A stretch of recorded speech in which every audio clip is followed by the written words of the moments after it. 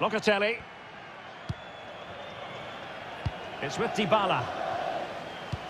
Oh, lovely weighted ball. They might be in. Well, it's the late show, and they are level again.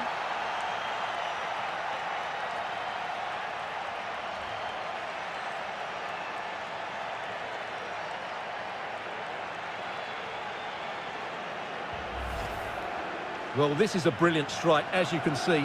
He hits it with so much power. The keeper had no chance. Fantastic finish.